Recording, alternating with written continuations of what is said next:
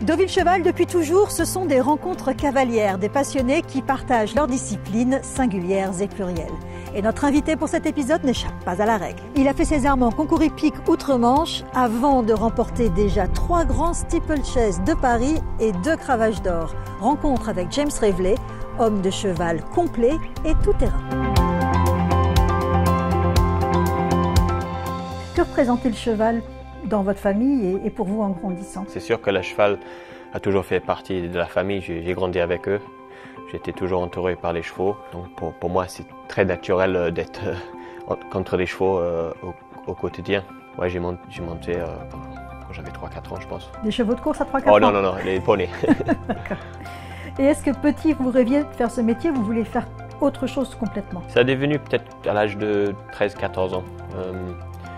Euh, j'ai commencé à faire des compétitions petit.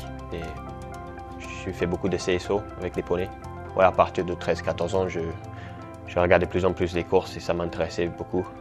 Et euh, je me suis dit, c'est peut-être, ce serait peut-être une meilleure option pour moi vu que j'avais tout sur place et c'était euh, facile, facilement de partir dans ce métier. Un défi interdiscipline où les cavaliers et les jockeys échangent leur rôle. Les premiers disputent une course, les deuxièmes s'attaquent à un parcours de CSO. C'est la Longines Race.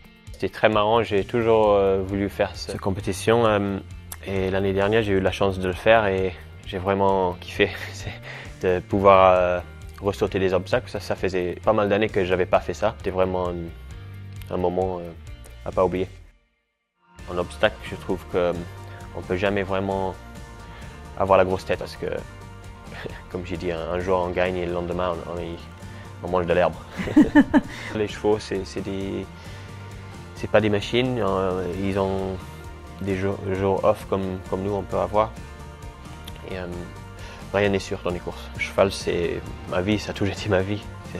C'est l'animal le plus magnifique qui existe, très intelligent, qui, qui veut tout faire pour plaire à l'humain. Tu as vraiment la chance de pouvoir travailler avec, euh, avec les chevaux.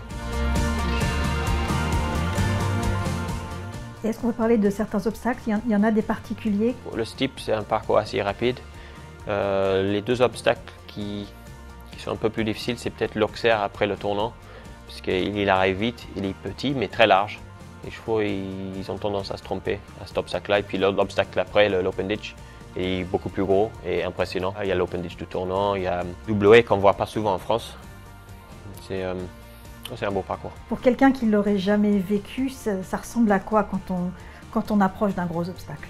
Il y a des chevaux qui sont un peu différents quand ils arrivent au obstacle. Il y en a qui sont un peu plus prudents. Ils vont regarder l'obstacle de loin. Donc euh, c'est au jockey de, de, faire en sorte que le cheval il, il soit concentré et qu'il passe euh, plus, plus rapidement et plus correctement possible.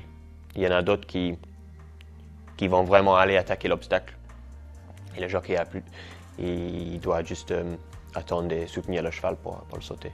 Mais euh, c'est vraiment le cheval qui saute, pas le jockey. oui, ça c'est important. le jockey essaye de rester sur le cheval. Ça. Le cheval à Deauville, c'est bien sûr toute l'année. Alors pour ne rater aucun événement, rendez-vous sur indoville.fr. Vous y retrouverez votre agenda cheval.